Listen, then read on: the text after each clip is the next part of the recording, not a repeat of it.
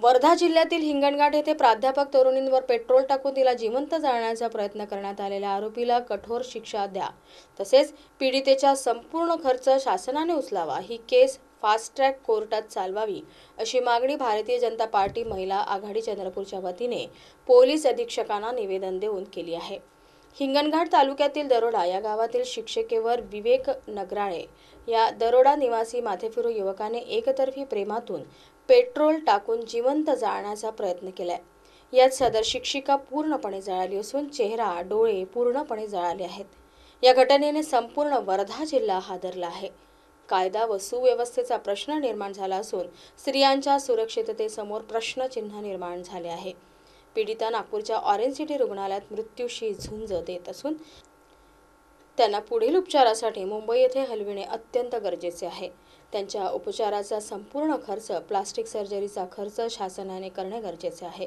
तसेच त्यांचे पुनर्वसनसुद्धा शासनाच्या माध्यमातून करणे गरजेचे आहे. या प्रकरणी खटला फास्ट ट्रॅक न्यायालयात चालविण्याची सुद्धा आवश्यकता आहे. याबाबत त्वरित संबंधितांना योग्य कारवाईसाठी निर्देश द्यावेत व सदर शिक्षिकेला योग्य न्याय द्यावा अशी मागणी निवेदन देऊन करण्यात आली आहे.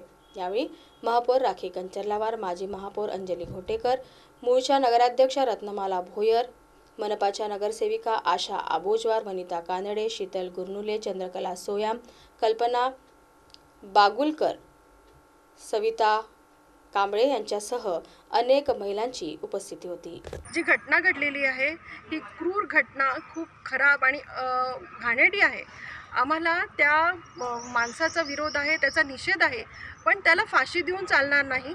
आमच्या महिलांना तोपर्यंत आत्मा शांत होणार नाही जोपर्यंत त्या माणसाला त्या तशाच प्रकारे त्यांनी ज्या महिलेवर अत्याचार केले आहे ज्या महिलेला जाळलं आहे तसंच त्याला जायला भर चौकात त्याला जायला पाहिजे. तेव्हा आमच्या महिलांचा आत्मा शांत होईल. हिंगणघाट तालुक्यामध्ये अतिशय निंदनीय किळसवाणी अशी घटना घडलेली आहे. सर्वप्रथम भारतीय जनता पार्टी महिला मोर्चाच्या वतीनं या घटनेचा आम्ही निषेध करतो आणि अत्यंत क्रूर अशी घटनेचा त्याच पद्धतीनं कारवाई आरोपीवर झाली पाहिजे याच्यासाठी आम्ही आम्ही आज एस पी साहेबांना निवेदन दिलेलं आहे. आमच्या तीन प्रमुख मागण्या आहेत. त्याच्यामध्ये फास्ट ट्रॅकमध्ये हा खटला चालला पाहिजे. आंध्र प्रदेशाने ज्या पद्धतीनं ज्या धर्तीवर एकवीस दिवसाचा कायदा करून आरोपीला शिक्षा देण्याबद्दल कायदा केलेला आहे तसं महाराष्ट्र सरकारने सुद्धा केला पाहिजे आणि त्या पद्धतीनं आरोपीला सजा देण्यात आली पाहिजे अशा आमच्या प्रमुख मागण्या आहेत.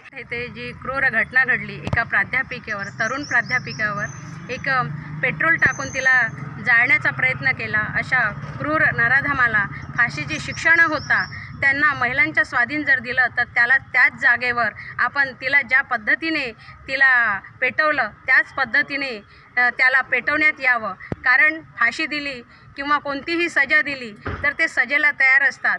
परंतु अशा नराधमाला निश्चितच चांगली सजा झाली पाहिजे.